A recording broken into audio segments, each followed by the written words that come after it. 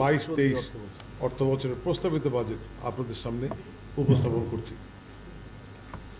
দু হাজার একুশ বাইশ অর্থ বছরের সংশোধিত বাজেট বাজেটের লক্ষ্যমাত্রা ছিল এক হাজার আশি কোটি বাইশ লক্ষ উননব্বই হাজার পাঁচশো ছত্রিশ টাকা সতেরো পয়সা মাত্র। সংশোধিত বাজেটে এর আকার দাঁড়িয়েছে সাতশো উনসত্তর কোটি দুই লক্ষ চুরানব্বই হাজার সাতশো চল্লিশ টাকা ছত্রিশ পয়সা মাত্র। অর্থাৎ বাজেটের প্রায় একাত্তর শতাংশ আমরা বাস্তবায়ন করতে পেরেছি। এটাও একটা, এর আগে কখনো আমি, আমার নিজের আমলও দেখিনি। সিক্সটি সিক্সটি ফাইভ এর বেশি ওঠানো খুব মুশকিল হয়। তো এই সময় আমরা পেরেছি ইনশাল্লাহ ধন্যবাদ আপনাদের সবাইকে।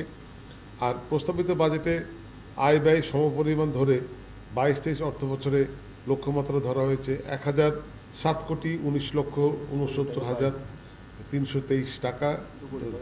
এখান থেকে আর আজকের বাজেট আলোচনার পরে আরও দুই তিন কোটি টাকা হয়তো বৃদ্ধি পাবে।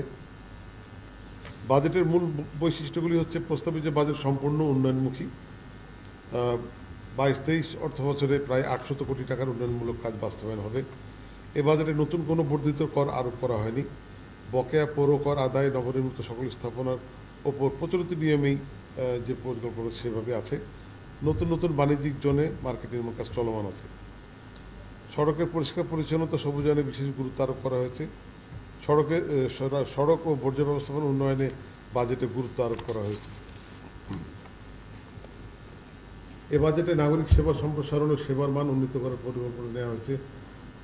এ বাজেটে অনগ্রসর জনগোষ্ঠীর উন্নয়ন পার্ক, ধর্মীয় উপাসনালয় শিক্ষা প্রতিষ্ঠান উন্নয়ন ও আরসিসি বিভিন্ন আধুনিক প্রযুক্তির আওতায় আনা জবাবদিহিতা বৃদ্ধি করার উপর গুরুত্ব দেওয়া হয়েছে।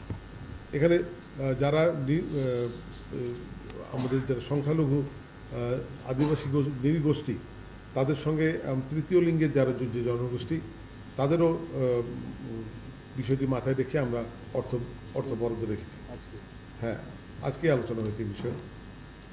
ডেঙ্গু ও পানিবাহিত রোগ প্রতিরোধে মশক নিধন এবং স্বাস্থ্য ব্যবস্থার উপর বিশেষ গুরুত্ব দেওয়া হয়েছে। জলবায়ু পরিবর্তনজনিত কারণে যে ক্ষতিগুলো হচ্ছে তার মোকাবেলা করার মতো অবকাঠামো গড়ে তোলার ব্যাপারে নির্দেশনা এই বাজেটে আছে। শিশুদের মনোবিকাশে শিশু পার্ক শেখ রাসেল নির্মাণ করা হয়েছে, যা শিগগিরই চালু হবে। আর প্রস্তাবিত বাজেটে ইমারত অবলিক বহুতল ভবন নির্মাণ কর আরোপের মাধ্যমে মহানগরীতে ভবন নির্মাণের পূর্বে সিটি কর্পোরেশনের কাছে অনুমতি নেওয়ার বিধান কার্যকর করা হবে।